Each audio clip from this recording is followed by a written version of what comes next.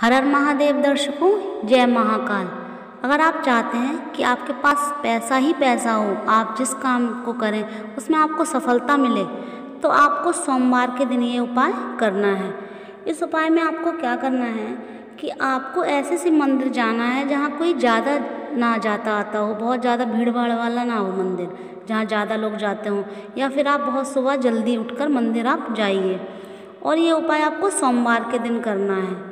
और अब जब मंदिर जाएँ तो आप जो भी पूजा की सामग्री लेकर जाएँ, जिस तरीके से आप अभिषेक वगैरह करते हैं, शिवलिंग का वो सामग्री लेकर जाएँ, और साथ में आधा किलो चावल आप लेकर जाइए, बिल्कुल साबुत चावल हो, बिल्कुल खंडित भी ना हो, बिल्कुल।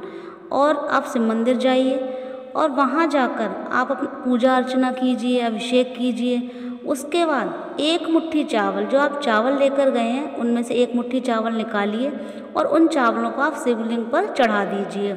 और वहीं बैठकर श्री, जो शिव जी का मंत्र है, श्री शिवाय नमस्तभ्यम या ओम नमः शिवाय, इसमें से कोई भी एक मंत्र का जाप आप 108 बार वहीं बैठकर आप कीजिए और आपकी जो भी मनोकामना है, आप भोले बाबा से उसके लिए विनती कीजिए। और जो चावल आपके बचे हैं, उसे आप लौटते समय किसी भी गरीब को आप दे दीजिए। इस तरह आप, आपको ये जो उपाय है, सात सोमवार करना है। ध्यान रखिए, आपको ये उपाय सात सोमवार करना है। हो सके तो आप जो पूर्णिमा के बाद जो सोमवार है, उससे आप स्टार्ट कीजिए। नहीं तो वैसे तो आप किसी भी सोमवार से आप इसे शुरू कर सकते हैं, लेकिन पूर्णिमा के बाद जो सोमवार है उस सोमवार से स्टार्ट कीजिए तो वो और भी ज़्यादा अच्छा है।